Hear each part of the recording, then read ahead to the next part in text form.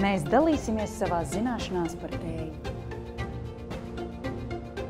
Kā atšķirt dažādus ziemeļu augus?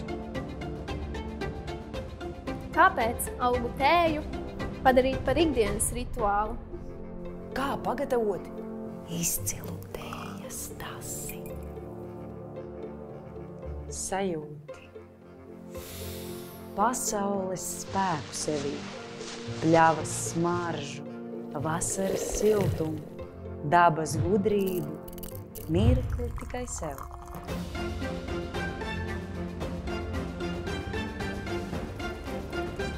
Kāda nozīme ir augu tējām tavas labsajūtas veicināšanā?